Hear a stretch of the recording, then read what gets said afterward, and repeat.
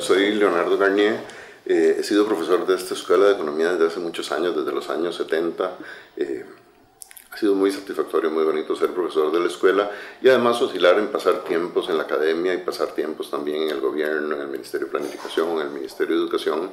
Creo que eso enriquece las dos actividades que uno hace, tanto la académica como la política. Esa pregunta que a veces le hacen a uno de por qué estudiar economía de las preguntas más difíciles de contestar. Es como cuando los hijos o las hijas le dicen, no, papi, ¿eso qué es, qué es estudiar economía? Eh, suena terriblemente abstracto eh, y sin embargo tiene que ver con las cosas más cotidianas. Vivimos en una sociedad económica. Eh, la gente usa la economía todos los días, compra cosas, vende cosas.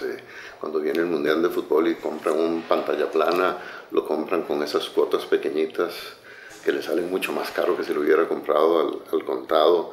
Eh, cuando trabajan tienen un salario, eh, si son emprendedores o empresarios, entonces tienen una empresa con ganancias o con pérdidas.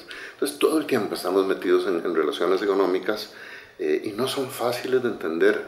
es muy raro, por ejemplo, todos manejamos dinero, plata, y, y poca gente tiene idea de qué es la plata cuando se habla de inflación o de que subieron los precios o cosas como el precio de la moneda, porque el colón es más caro, más barato que una moneda de otro país.